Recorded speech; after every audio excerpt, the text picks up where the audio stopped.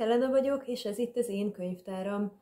A mai videóban olyan könyveket hozok nektek, amelyeket nem magyar nyelven olvastam, mivel köztudat rólam, hogy nagyon szeretem az idegen nyelveket, és jó magam is a magyar mellett három nyelven beszélek, angolul, németül és oroszul, különböző szinteken, és mivel az olvasás és a nyelvtanulás mind a kettő egy nagyon fontos hobbi számomra, én szerettem volna ezt a kettőt összepárosítani, ezért akár melyik nyelven, akár csak középfokon megtanultam, mindegyiken szerettem volna legalább egy regényt, kis regényt vagy valamit elolvasni. Ennek az eredményéből hozok nektek most néhány szemelvényt. Az angollal kezdeném, ezen vagyok a legmagasabb szinten, így nincs már szükség arra, hogy párhuzamosan, vagy akár előre magyarul elolvassam az adott regényt, tökéletesen élvezhető most már csak ezen a nyelven is. Egy sorozattal kezdeném, ez Chris Carter-től a Robert Hunter sorozat. Ennek az előzmény novelláját és négy részét olvastam a mai napig. Természetesen tervben van a többi is, de a könyvmolyok életében nem igazán lehet megmondani, hogy a tervek mikor valósulnak meg.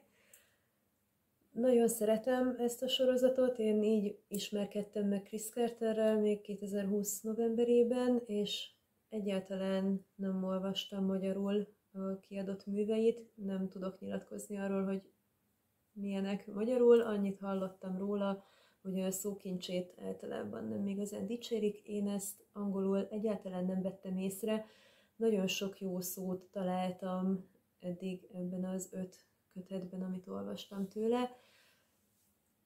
Ennek bármi oka lehet, nem tudok róla nyilatkozni, én a sorozatot nagyon szeretem, és nem is tervezem magyarul olvasni, csak angolul. A következő Dr. Stoker és J.D. Barker közös könyve a Dracula. Dr. Stoker Bram Stoker dédunokája. Nem meglepő tehát, hogy ez a kötet Bram Stokerről szól, illetve az ő gyermekkorát, fiatal éveit mutatja be, és a címből is kitalálhatjuk, hogy mivel a Dracula írójáról van szó, ezért nem kevés vampirizmus is található ebben a történetben, teljesen átszövi Bram Stoker gyerekkorát. Nagyon tetszett, nagyon élvezetes volt, J.D. Barkert, aki már olvasta, aki már ismeri a könyveit, tudhatja, hogy ő előszeretettel ír naplókat a, a regényeibe, ez, ezzel a könyvvel sincs másképp, de kimondottan jól is állt ennek a történetnek az, hogy egy-egy információt a naplóbejegyzésekből tudunk meg. A szereplők közül Ellen karakterét éreztem a leginkább kidolgozottnak, a többiek még Brem is eléggé elnagyolt, de ez nem vett el egyáltalán a könyv értékéből. Aminek pedig kimondottan örültem, az a magyar kultúrára való utalgatás, és van benne áthallás Anne Rice vampír krónikáira is. Amolyan öt csillagot adtam rá, az egyik kedvencem volt abban az időben, amikor olvastam. A következő Kiri Taylor-tól a Skin and Bone című pszichotriller, ami egy személyazonosságlopással foglalkozik, és ennél többet nem is mondok el róla, mert már így is eléggé lelőttem a poént benne.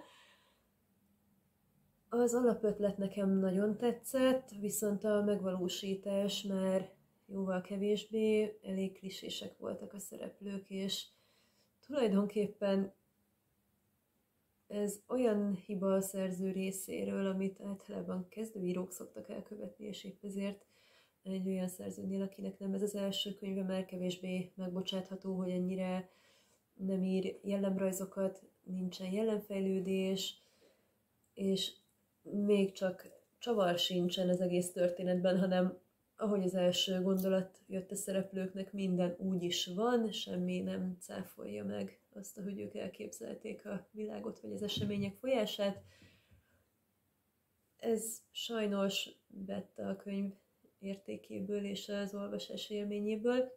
Arra viszont kiválónak tartom ezt a könyvet, hogy valaki azt gyakorolja vele, hogy angolul olvasson és megértsen egy könnyedebb olvasmányt.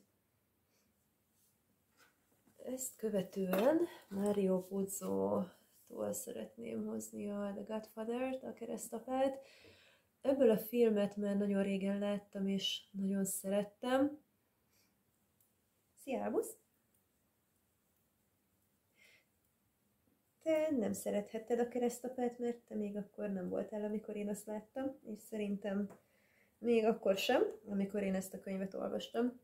Úgyhogy nagyon sajnálom, Albusz, de jelen pillanatban nem tudsz hozzászólni a beszélgetéshez. Tehát én ezt a könyvet nagyon-nagyon szerettem. Pont elég későn olvastam a film megnézése után ahhoz, hogy már ne befolyásoljanak az ott látottak, és ne a színészek arca ugorjon be olvasás közben. És annyit segített tulajdonképpen csak a, a film, hogy nagyjából tudtam, hogy mi fog történni a sztoriban, ennek ellenére nagyon izgalmas volt, és végig fenntartotta az érdeklődésemet. Folyton azt vártam, hogy mi fog történni.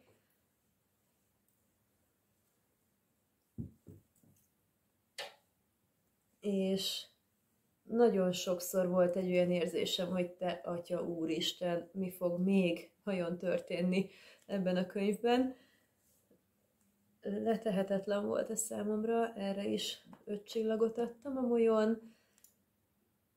A további részeket szintén angolul tervezem el olvasni, ha már a sorozatot így kezdtem. A magyar fordítását nem ismerem. Az angolok után hoznék egy német nyelvű olvasmányt, ez Stephen Kingtől a Nachtschicht, ami az éjszakai műszak novellás kötetnek a német megfelelője.